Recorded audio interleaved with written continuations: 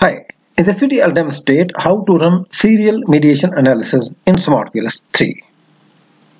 So let me first introduce my variables in this model.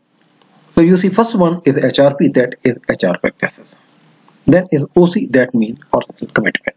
Then is team performance that is represented by TP. And finally it is WE that is work engagement. So in this model you see we have two uh, mediators. One is OC and second one is WE.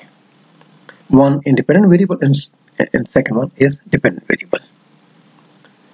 And we are interested to find out whether there is a serial mediation in this model or not. Serial mediation means the indirect effect is flowing through HRP to OC, then to WE, then to TP. So let's see how to run mediation. First, let's go to menu bar, calculate and consistent PLS algorithms. And let's review the report. And uh, here is an option of indirect effect. Just click it.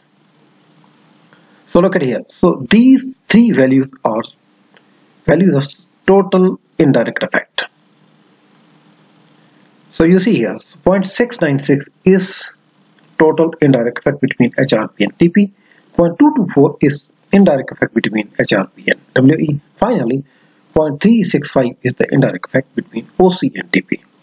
And all three values are of quite substantial size.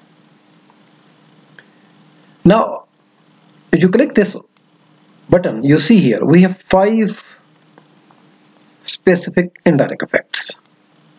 And among these, the fourth one is representing serial mediation.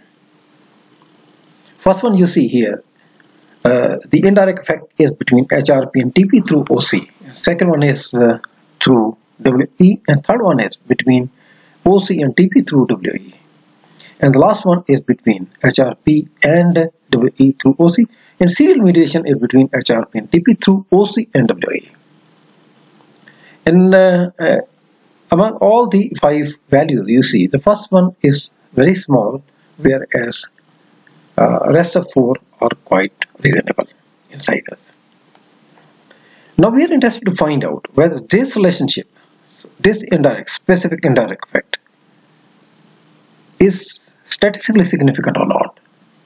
If it's statistically significant, that, that would mean serial mediation is statistically significant. And how to test it? So calculate and then bootstrapping.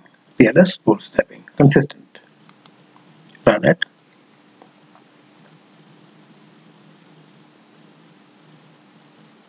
So here we go. So let's examine the report again. So you see here we have two uh, options of indirect effect. First one is total indirect effect, and but we are interested in specific indirect effects here and uh, so you see here the first one is statistically non-significant. Whereas rest of all four mediations there are statistically significant. And more particularly you see here uh, serial mediation is statistically significant in this model. So this is how we run serial mediation analysis. Thanks for watching